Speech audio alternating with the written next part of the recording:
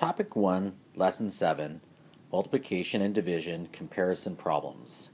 Well, so far you've learned how to interpret a multiplication equation as a comparison. In this lesson, you're going to solve a problem involving multiplication as comparison by using a diagram and writing an equation.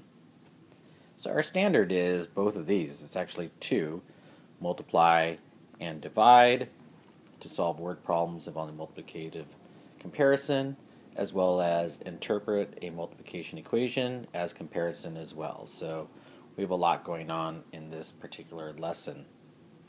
Our focus is how can a diagram and an equation be used to solve problems involving multiplication comparisons.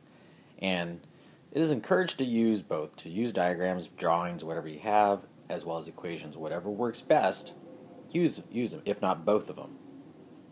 So here's our problem. Our problem is Juan bought 18 yellow balloons and he bought three times as many yellow balloons as purple. How many purple balloons did he buy? Let's take a look here. What do we know? Well, we know that Juan bought the 18 yellow balloons and then he also bought three times as many yellow balloons as purple.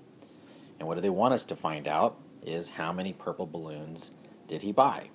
So we're given certain information, but we also have to find other information. So let's use a diagram here. So let's make our solution. Our solution is set up this way, where we can make a box. Now, what do we know? As we said back here, we know that there are 18 yellow balloons. So that'll be right here. Let me go ahead and change this and we know that this is 18 yellow balloons here. That's what we know. And down here, we're trying to find out how many purple that we have. And we also know, if we go back, that he got three times as many yellow balloons as purple.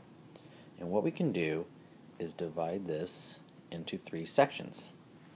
Why do we do that? Well, we know the total amount, which is up here, 18 yellow. And we know that he also got three times as many. So one, two, three times as many as he did the purple. So we're trying to find out what goes in the box. And we know our total, 18 yellow balloons, and we also know three times as many. Well, what do we do now? Well, we know that it's 3 times something is going to equal 18. This is where we get our 3 from the three boxes, one, two, three box. We don't know what this is, but we do know the total. So now we just have to find the missing number. And if you do this right, if you know what you're talking about, if you know your multiplication, you know that it's really 3 times 6 equals 18. Or we could do it the opposite way. We know that we have 18 we're going to divide by 3. What do we get? 6. So the missing number here that goes in the box would be 6. And that would be our answer. There are 6 purple balloons. Now try some on your own. Good luck.